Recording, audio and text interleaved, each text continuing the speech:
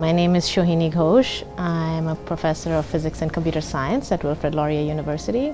And my area of research is in quantum information, which explores how to use the laws of quantum physics to understand and transform computing and communication.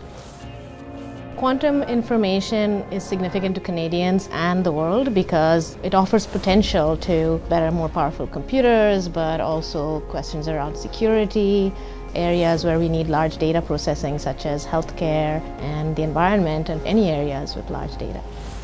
I was inspired to go into physics because of the first Indian astronaut who went to space and I wanted to follow in his footsteps and be an explorer. Even though I don't get to go to space yet, I still explore new sorts of ideas. So I feel like we are right at the edge of, I think, a whole new era of discovery and that really gets me excited.